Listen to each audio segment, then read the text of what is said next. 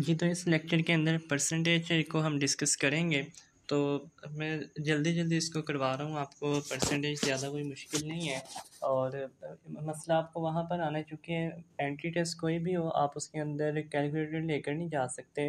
तो इसमें भी आपको ज़ाहिर सी बात है कैलकुलेटर तो अलाउ नहीं होगा। तो आप लोग जो है ना, एक कच्ची पेंसिल साथ लेकर जाइएगा। उसमें और अरेजर लेकर जाइएगा।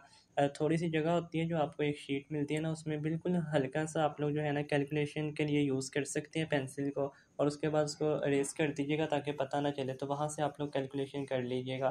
कैलकुलेटर जो है वो अलाउ नहीं होता आपके पास। अगर आप लेकर जाते हैं तो फिर वहाँ आप लोग सिचुएशन देख लीजिएगा कि आपसे अगर कलेक्ट कर ले ले लें तो ठीक है, नहीं, अगर रह जाए पास तो वो आप लोग उसके अकॉर्डिंगली देख लीजिएगा वैसे रूल के अकॉर्डिंग आपको कैलकुलेटर जो है वो अलाउ नहीं होता। अब देखें जो आपके पास परसेंटेज है तो इसमें सिंपल सी बात है परसेंटेज तो आपको पता है कि क्या होती है। तो इसमें one part in every hundred what if I say I had rupees hundred and I loss thirty percent of it इसका मतलब सिंपल सा है कि I mean I have loss rupees thirty and rest I have is rupees seventy ये percentage का जो formula ये आप लोग देख लें कि आपके पास अपटेन मार्क्स जो आए होते हैं, उसको आपने टोटल मार्क्स से डिवाइड करना होता है और मल्टीप्लाई करवाना होता है हंड्रेड से। ठीक है? यानी आप इंटर के भी अपने मार्क्स की परसेंटेज निकालें या किसी की भी तो आप इसी तरह से निकालते हैं। अब ये जो है आपके परसेंटेज के जो क्वेश्चन होंगे एम सी उसमें ये फार्मूला उसमें यूज़ होना ही होना है। एग्जाम्पल्स जो है ना वो आप लोग इसको खुद सॉल्व करते जाए। मैं अब आपको दिखा रहा हूँ। इसको नोट कर लें और सॉल्व करते जाएँ। कहते हैं what percent is two fifty gram of one K G ठीक है? तो सोल्यूशन इसका देखने, पहले देखें वन के जी आपको पता है कि थाउज़ेंड ग्राम्स के इक्वल होता है। तो टू फिफ्टी ग्राम क्योंकि आपके पास अपटेन है तो वही फार्मूला लगेगा अपटेन डिवाइडेड बाय आपके पास जो टोटल है, और उससे आपने मल्टीप्लाई करना है हंड्रेड से तो आपके पास आंसर आ गया, ठीक है?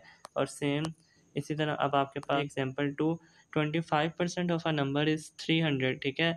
द नंबर इज़ तो आपके पास यहाँ पर जो है वो टू वैल्यूज़ हैं अपटेंड और परसेंटेज तो एक उसने परसेंटेज में वैल्यू दी है और एक आपके पास अपटेंड वैल्यू है। तो आप नंबर जो है वो फाइंड कर सकते हैं। लेट करें नंबर एक्स को twenty five divided by hundred क्योंकि परसेंटेज को जब आपने ख़त्म करना है तो ज़ाहिर सी बात है वो तो आप हंड्रेड लगाएँगे ये आपने पढ़ा हुआ है।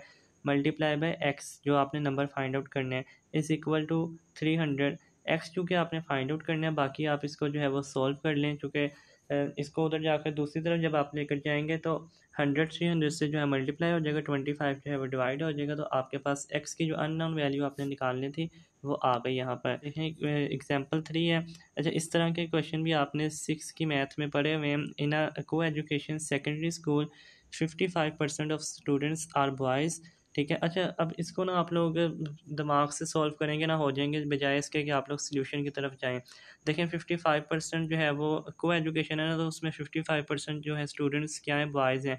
तो इसका मतलब फोर्टी फाइव परसेंट जो है वो आपके पास क्या होंगी? गर्ल्स होंगी। ये आपको खुद ही अंदाज़ा हो गया कि फिफ्टी फाइव अगर बॉयज़ हैं तो फोर्टी फाइव परसेंट जो है वो रिमेनिंग गर्ल्स होंगी। अब वो कहता है कि there are three sixty girls in the school और ये जो थ्री सिक्सटी गर्ल्स हैं, ये इसका मतलब ये है कि ये फोर्टी फाइव परसेंट है, ठीक है? तो अब इसका मतलब जो बॉयज़ की तादाद आपने बतानी है, वो ज़ाहिर सी बात है थ्री सिक्सटी से तो एक तो ज़्यादा होगी। और अब आपने किस तरह से कैलकुलेशन करनी है तो पहले आप लोग देखें परसेंटेज है आपके पास गर्ल्स की फोर्टी फाइव ये आपने यहाँ से अंदाज़ा लगाया। टोटल गर्ल्स जो हैं वो थ्री सिक्सटी हैं। Three sixty is forty five percent of what this will give us total strength total three sixty को सिंपल जो टोटल गर्ल्स हैं आपके पास, उसे फोर्टी फाइव परसेंट से आप डिवाइड करके मल्टीप्लाई करवाए हंड्रेड से आपके पास जो है वो एट हंड्रेड आंसर आ रहा है। और उस एट हंड्रेड को जब आप जो टोटल गर्ल्स हैं, उसमें से माइनस करते हैं तो आपके पास फोर फोर्टी जो है, वो, जो आंसर आता है, वो आपके पास बॉयज़ हैं।